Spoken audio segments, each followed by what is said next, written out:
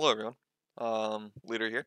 I just wanted to talk about my future with League of Legends and kind of the future of the channel and where we are going.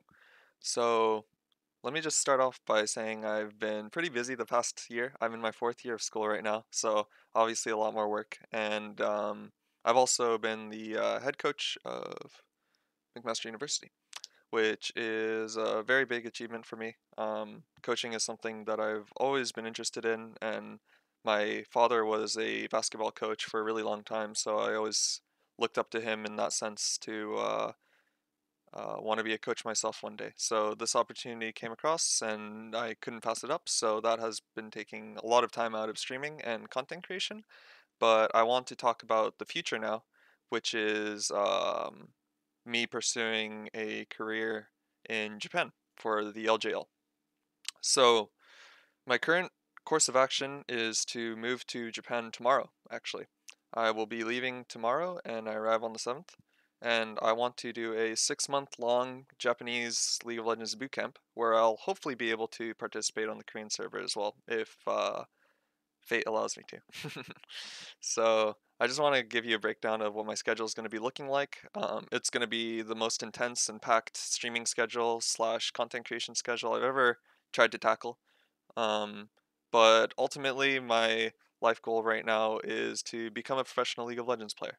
And the only way for me to do that is by putting in the work and setting this six month time to fully dedicate myself to my craft and without any distractions. So, this is exactly what I'll be doing. I'm going to be boot camping, and this is generally what my week by week schedule is going to be looking like. I've sorted out each week um, with different homeworks to do and different uh, reviews to do and different uh, champions to explore for a practice tool to get a better understanding of how each champion interacts and um, try to just learn as much as I can about the game within the next six months. Uh, I believe I can pull this off and truly be the best player in Japan.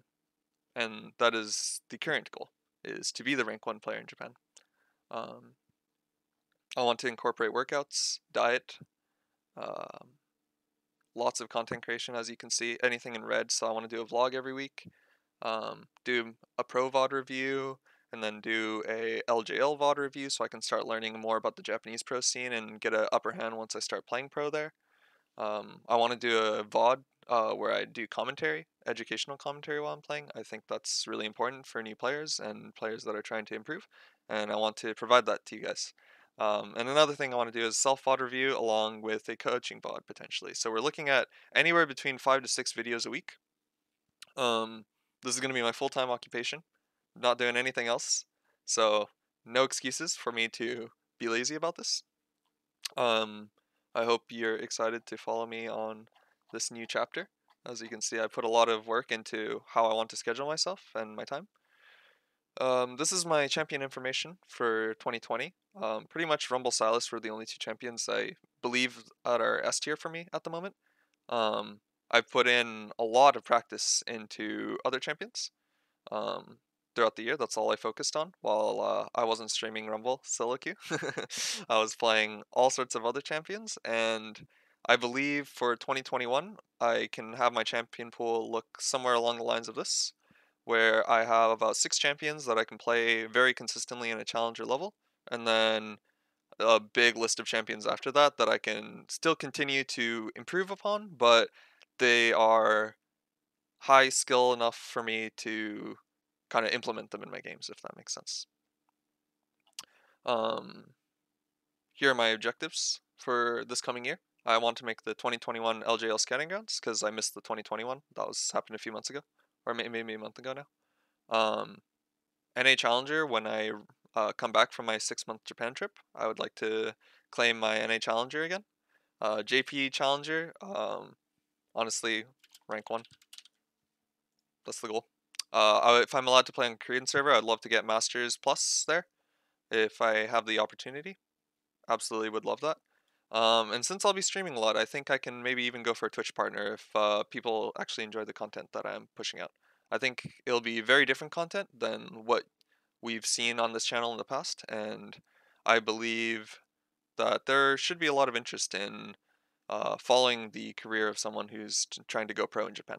Uh, I think no one else has really tried to do that, and I believe I'm the first NA person that's also Japanese that's actually able to be not an import in Japan and really do some damage as uh, someone who hasn't been practicing on Japan server and got to play on a little bit of a bigger server for the past few years, which is a big advantage compared to a lot of the Japanese people.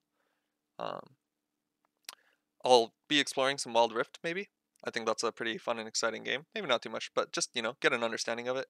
Uh, Japan vlogs are coming, maybe potentially AMAs and daily streams for sure. Um, my practice tool training every morning, which you saw earlier in the schedule. Um, I'm going to be doing each champion twice over the six months. So every day, practice tool for 45 minutes as my warm up. And these are kind of the drills that I'll be running mostly. Maybe I'll switch it up once in a while. Obviously, the schedule is not concrete. I'm going to be making tons of changes to the schedule as I learn more about myself as a player and uh, see how much I can pull off, you know, realistically. Uh, so the schedule is, you know, going to be adjusted for sure. Um, these are all the LJL games I'm going to be reviewing. And I started doing some research on dieting and sort of uh, hand and wrist exercises to make sure I never get carpal tunnel or anything like that. Um, I want to start taking care of my body and my mind uh, a lot over the next six months and see if I can use that to excel my game even further. Um, I think it's something that a lot of pros sleep on, and I plan to take full advantage of that. Um, so the last few, maybe close to a year and a half, two years now, I haven't been producing that much content, but I've been studying the game harder than I ever have before. So just quick examples. Uh, here's like a um, a big note sheet that I made on the Samsung Galaxy Worlds run. So I looked at every single game they played at Worlds and took notes for it. As you can see, did a lot of studying. did the same with IG.